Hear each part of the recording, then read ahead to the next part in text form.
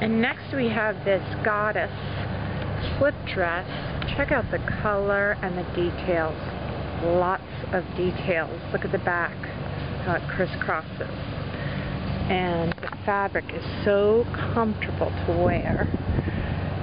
It's just gorgeous. You gotta have it. Beautiful lines.